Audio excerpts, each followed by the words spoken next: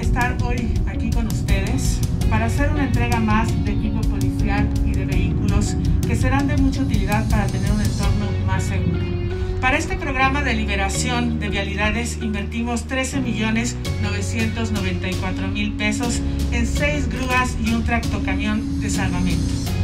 Desde el primer día hemos trabajado por la seguridad humana de las y los narcaltenses. Apoyamos su seguridad y su tranquilidad.